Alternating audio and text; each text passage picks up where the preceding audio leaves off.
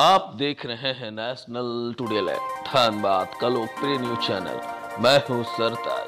चलिए खबर की ओर।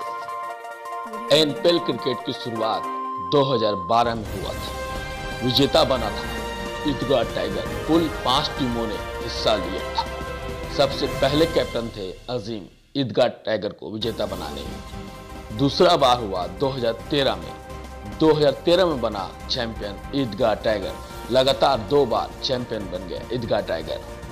एनपीएल क्रिकेट में ईदगाह टाइगर का उस समय तूती बोलता है। 2014 में उलट फेर हुआ। भट्टा रेंजर बना विजेता। आपको मैं बता दूँ कि भट्टा रेंजर पहली बार विजेता बना। 2015 में रमज़ान वॉरियर्स के सरताज पहली बार रमज़ान वॉरियर्स चैंपियन बना। एनपीएल क्रिकेट के इतिहास में ये तीसरी टीम बनी। 2016 में भी रमज़ान वॉरियर्स चैंपियन बना। लगातार दूसरी बार ईदगाह टाइगर के रिकॉर्ड के बराबर। आप देख सकते हैं रमज़ान वॉरियर्स लगातार दो बार चैंपियन। 2017 में रमज़ान वॉरियर्स चैंपियन बना संयुक्त विजेता।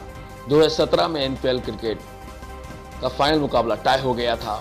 सुपर ओवर भी टाई रहा था।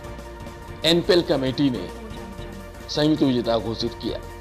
2018 में रमज़ान वॉरियर्स पहले राउंड में बाहर।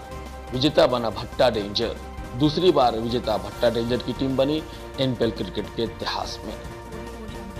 भट्टा डेंजर के कप्तान थे अरफान आलम, जो अपने टीम को विजेता बनाए 2019 में बना यतीम खाना स्टार चैंपियन तीन बार की विजेता टीम रमज़ान वॉरियर्स को फाइनल मुकाबले में हराकर एनपीएल क्रिकेट का खिताब अपने नाम किया। नेशनल टुडे लैब से। सरताज की रिपोर्ट।